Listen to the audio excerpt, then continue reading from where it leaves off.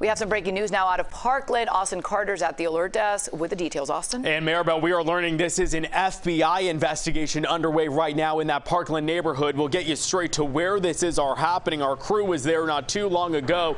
You can see there is a big BSO presence in that area. This is going to be a neighborhood off Northwest 68th Drive. For some perspective here, this is going to be on the north side of the Sawgrass there, close to Coral Springs, a little bit west of 441 and right off Hillsboro Boulevard. Now, FBI Miami, they tweeted out a little bit ago that they are conducting a court-ordered law enforcement activity there. Now, the nature of that investigation, why they're out there, we don't know at this point. We're working to get those answers, but the FBI is asking everyone in this area to stay away until this is all resolved. We're working to gather those details here for you at the scene, and we are in touch with the FBI this morning, Maribel.